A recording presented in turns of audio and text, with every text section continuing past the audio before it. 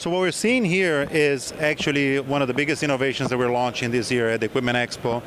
And it's a result of utilizing our experience of over 25 years of robotic mowing, you know, mowing technology and bringing into an existing platform. This is a regular stand-on mower, 54 inch, that we've had in the market for several years.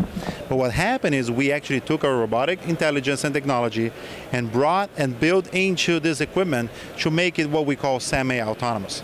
Semi-autonomous means you can use this as a regular stand-on equipment on your, on your yard as a commercial mower. But as soon as you're, you have a large field ahead of you, you can mark the perimeter of that field, hop off of the equipment and press a button and let the equipment be guided by satellite data and mow the, that entire area in whatever direction that you want to mow. So the first thing that people ask when they look at an equipment like this is, A, can you get always satellite data available? And as long as you have coverage and you don't have a very dense tree canopy, for example, in front of you, it can still run for a few seconds until it reaches out to the next point and gets to the next satellite. The second thing that people ask about is what about safety?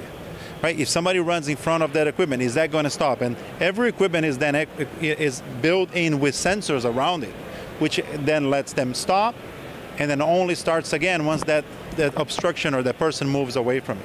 So all you have to do is press a record button on the device and then you record the area. And, as, and if you want any stay out zone, you can record that stay out zone as well. And as soon as you're done, you press a button, walk away from it, put it in gear, and let it run automatically. You can monitor everything through a mobile app, which then, by the way, if you are to go back to that same site a week later, you don't necessarily have to record the perimeter again.